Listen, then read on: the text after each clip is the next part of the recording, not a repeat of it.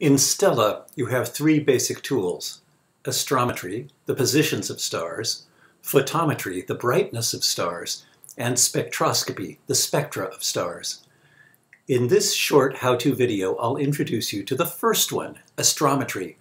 Start and stop the video and follow along. It would be great if you actually do everything I do on your own computer. We'll start with Stella already open. The basic idea of astrometry is that you point your telescope at a star and record where it's pointing. Naturally, you record two coordinates, x and y. These are measured in degrees and are just like regular Cartesian coordinates. Since our patch of sky is 5 degrees on a side, the x and y coordinates are all between 0 and 5. If this were real astronomy, you might use right ascension and declination. In any case, we start here in the Sky tab, just looking at the night sky. To point the telescope at a star, click on it. The green reticle, the diamond-shaped thing, moves and brackets the star. Let's look around the screen. The blue bar tells us that we're pointed at star S136, that we're not using any magnification, it's 1x, and the date, we can call it star date, is 2525.03.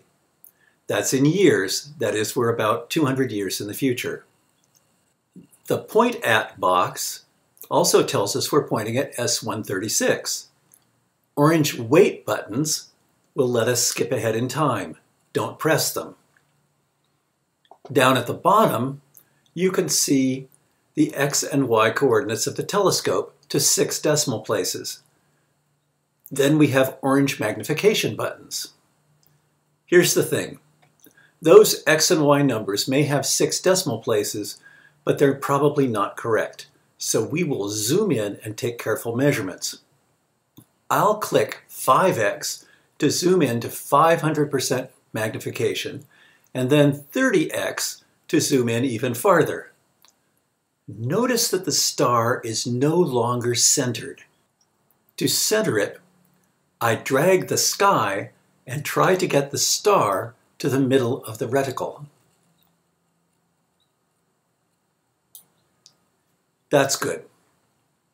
Now I want to record the x and y position of the star. I do this in the Results tab. This first line shows what star this is going to be a result for. The menu shows what measurement you're recording for star S136. Eventually, you should do all of these, but for now, let's leave it at position X. I need to enter the value for X in the box. The program displays the X value for the Sky tab right here, so I just type it in. 2.469121. Okay, 2.46, nope, 69121.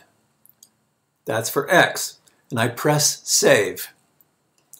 Hooray, I got, what is it, 95 points. If I had been too far off, it would have rejected the value. Now I'm going to do the same for the Y. I change it to Y, and it's 3.803993. Okay, 3.803993. And I click Save. And look, I got level 1 in astrometry. It's kind of a badge. This is incredibly useful, as we will see in Astrometry Part 2. You might also be wondering where those measurements got recorded and how to use them. That's in the next video as well.